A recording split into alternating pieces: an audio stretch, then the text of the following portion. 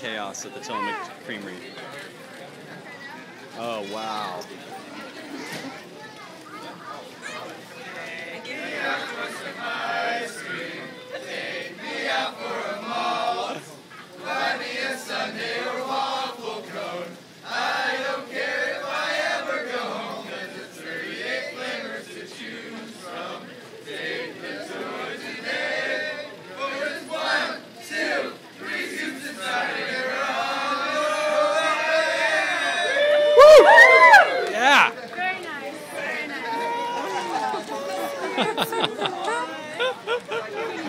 awesome.